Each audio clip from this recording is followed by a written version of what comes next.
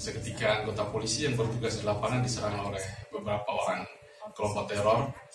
Namun syukur tidak ada yang cedera dan kami pun karena memang tidak tahu jarak antara Surabaya dan Tuban itu memerlukan waktu dua jam.